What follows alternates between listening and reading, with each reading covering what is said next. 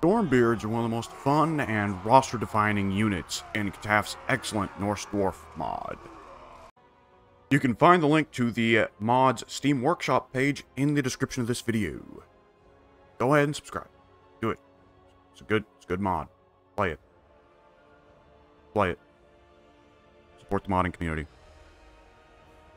Do it. Stormbeards are a very aggressive shock infantry that show the Northern Dwarf holds far more aggressive mentality, as well as their experimentation with runic magic. You can barely make it out in the armor here, there it is.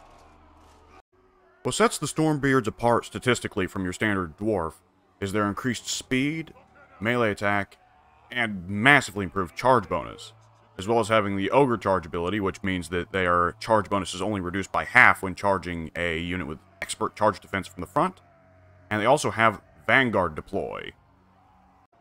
The enhanced charge bonuses on the Stormbeards really show through in their ability to just absolutely annihilate lightly armored infantry like, say, Norscan Marauders. Observe. Look at that little guy charging off on his own. How brave. And... There we go! A quarter of the Norscan Marauders' health just on the immediate charge. That's pretty good for a unit of Dwarf Infantry for charge bonus. Even against Chaos Warriors, the Stormbeards can trade pretty well despite their lack of armor piercing. Not an optimal matchup, but you don't always get those. At 850 gold and about 200 upkeep in campaign, they're cheaper than most of the elites you would see in the mainline dwarf roster, but you still probably don't want to be too generous with them in the early to mid campaign or in multiplayer battles. One example of a strategy to use when you have a limited quantity of Stormbeards is to get a front line of something cheaper, in this case Dwarf Warriors, and go with good old-fashioned hammer and anvil. Stormbeards aren't particularly fast, but they pack plenty of damage on the charge, which makes them good for hitting opponents in the flanks. And since Dwarf Warriors make for such a extremely tough and slow to kill anvil, it means you are afforded more time with the Stormbeards to get into the proper hammering position. Can be kind of slow uh, to play, though. Hmm. Satisfying, though. Yes. Drain them. Now, Hammer and Anvil is a classic, but it's been done before, hasn't it? You can do that with just about anybody. What about ambushing someone with heavily armored dwarfs? Since Stormbeards have Vanguard deploy, and they can deploy in the center or on the fringes of the map, that means there's all kinds of spots you can place them to go ahead and ambush enemies.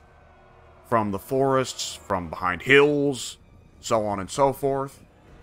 And perhaps I could have been a bit better with the timing with this, but nonetheless, they'll get in there and they'll flank, damn it.